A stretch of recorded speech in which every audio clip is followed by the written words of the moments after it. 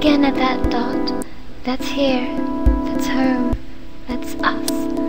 On it everyone you love, everyone you know, everyone you've ever heard of, every human being who ever was, lived out their lives, the aggregate of our joy and suffering, thousands of confident religions, ideologies, and economic doctrines, every hunter and forager, every hero and coward, every creator and destroyer of civilization, king and peasant, every young couple in love, every mother and father, hopeful child, inventor and explorer, every teacher of morals, every corrupt politician, every superstar, every supreme leader, every saint and sinner in the history of our species lived there, on a mote of dust suspended in a sunbeam.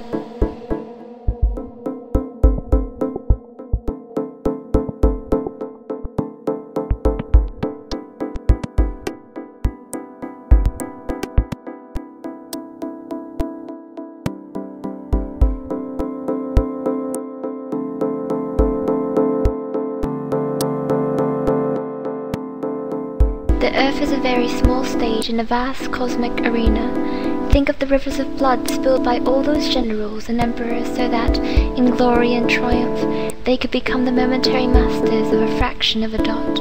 Think of the endless cruelties visited by the inhabitants of one corner of this pixel on the scarcely distinguishable inhabitants of some other corner. How frequent their misunderstandings, how eager they are to kill one another, how fervent their hatreds. Our posturings, our imagined self-importance, the delusion that we have some privileged position in the universe, are challenged by this point of pale light.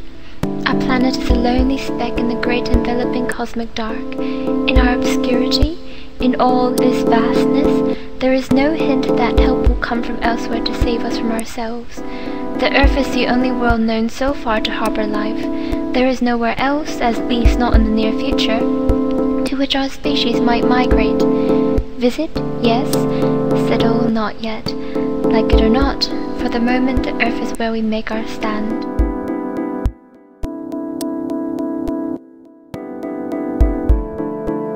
It has been said that astronomy is a humbling and character-building experience. There is perhaps no better demonstration of the folly of human conceits than this distant image of our tiny world. To me, underscores our responsibility to deal more kindly with one another, and to preserve and cherish the pale blue dot, the only home we've ever known.